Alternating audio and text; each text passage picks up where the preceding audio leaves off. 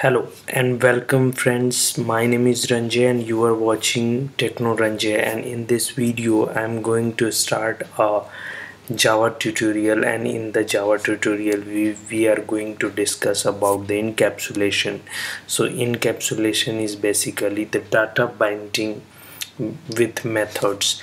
So if you have a mm, something or variables present in a class then how you can bind that particular data with the methods that that will see in the that will we will see in a practical way. So we are using eclipse uh, IDE this is the framework. You can prefer any other also like netbeans and intellij. So let's go and start. So after uh, coming in the eclipse you just go to the uh, right click and here it is java project okay? And so here is the project name. It is asking so project name what we will encapsulation. Encapsulation. Encapsulation. So you can give any project name that uh, you like and just go into the next. After just go and finish it. Okay here this project is now completed and in this project what we will going to do is here you just go and click uh, you can you can simply click the class. So encapsulation class what we will do is data binding okay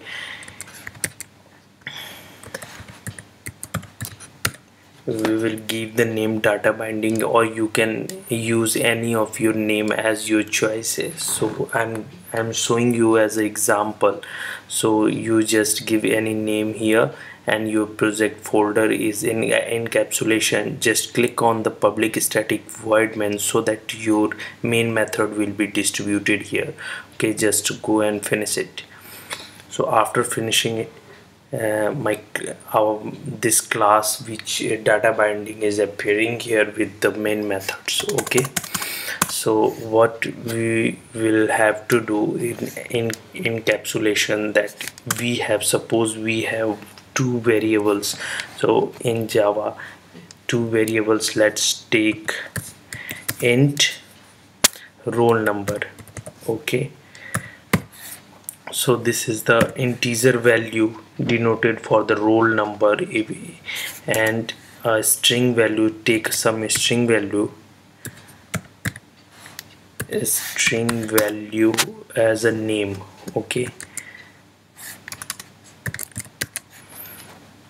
So we are declaring two variables in our class that is data binding okay and in main methods what we'll have to do we have to in order to access that particular data in a in a class we will firstly we will have to create a object of that particular class okay? So what we will have to do we we create an object with the help of the new keyword. So we will type data binding and keep the ref db we are taking db as a reference variable and here new data binding. Okay so this let's close this. So we have successfully created the object. So what encapsulation means is that you cannot access that particular data in any of the method without using the help the help of any of the method. So directly accessing suppose db dot roll number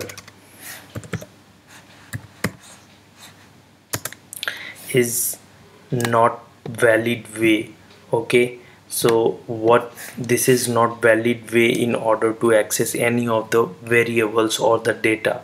So what encapsulation says that you will have to define some methods and the method name is setter and getter. So in order to take a setter and getter method in eclipse it's very easy. Just go and right click that particular class in that particular class and here it is showing source.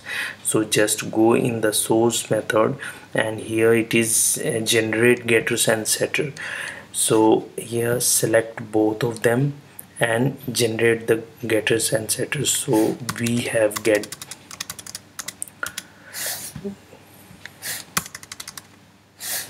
so this is the getter and setter method. We have successfully generated that. Okay we have these methods and this is the main method. Okay. Now now we can access that particular variables with the help of these methods. Now one one thing we must have to do that any of the variable must be private so that it cannot be accessed uh, outside of the class. Private is the access modifier.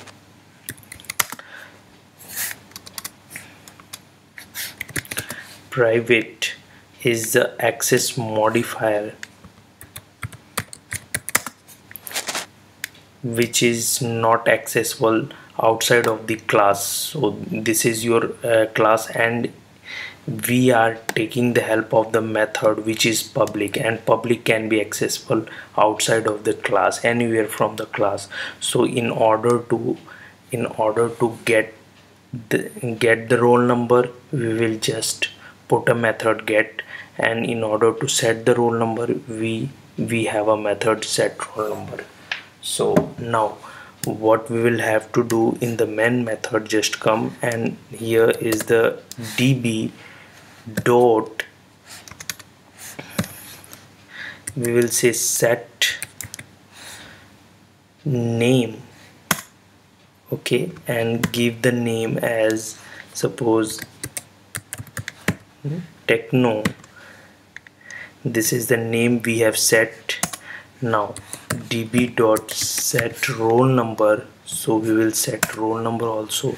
So roll number suppose uh, this is 10 and in order to get in order to fetch that roll number what we will have to do we have a method s5 so system dot out dot println. So in this what we will have to do is we just give the reference variable the object dot db dot name sorry db dot get get name and in next one is also the same db dot get roll number. Okay? So now we have completed our coding for the encapsulation and just save it and let's go and run the encapsulation methods that okay? So here let's go and run as a java application. So he see this is uh, we have got the output on the console that is techno dot techno as a name and 10 as a roll number. So this is the, actually the method that is defining by the encapsulation is that data binding data binding with the method is known as encapsulation. Binding of data with the method is known as encapsulation okay? So you can also write this in this way okay? Name equal to uh, and here what we will concatenate it okay roll number equal to and just concatenate it okay save it run this. Here so we have got this. Name is equal to techno and the roll number is equal to 10 so this is the method we just have to use so for the time being this is the encapsulation method. So please like and comment also if you have learned something.